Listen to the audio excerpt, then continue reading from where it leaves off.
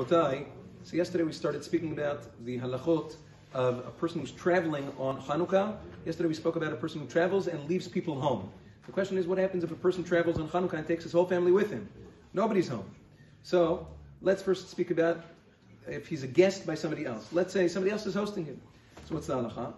Now, there is a, a concept in the Gemara, which is later codified by the Shulchan Aruch, of mishtatif aimo beprutot, which means that you have to give a few cents to the Baal Bayit in order to take, uh, in order to participate in the oil, the wicks that he's lighting, and you'll be part of that lighting as well.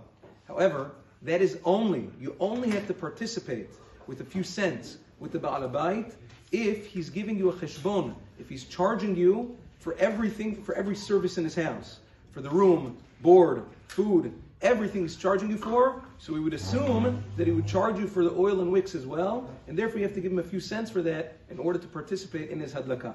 However, usually, if you're a guest in a person's house, that usually doesn't happen anymore. When you're a guest in a person's house, you sleep in his house for free, and you eat his food. You're a guest. He's hosting you.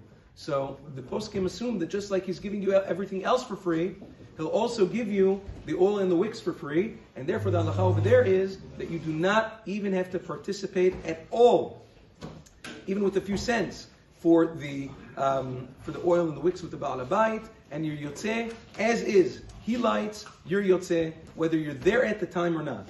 Now again, it's important to uh, point out, with regards to a guest, with regards to traveling, your house for that night of Hanukkah has to do with where you're sleeping that night.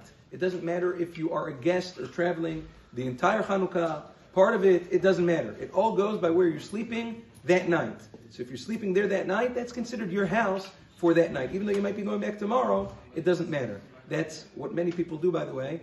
Couples sometimes go to their parents, in-laws, whatever it is, siblings for Shabbat Hanukkah. They have the same halacha over there in that they do not have to participate with the Baal Bayit whoever the Baal is, parents, in-laws, siblings, whoever, friends, it doesn't matter. The point is that they're staying there for free, they're eating their food for free, and therefore they do not have to be mishtatif with the Baal with the Hotza'ot. Tomorrow we'll speak about Be'ezat Hashem, what happens if you're not even a guest, what happens if you're, in a hotel. Uh, that's a totally different situation. Be'ezat Hashem, we'll speak about it tomorrow. Yom Tov.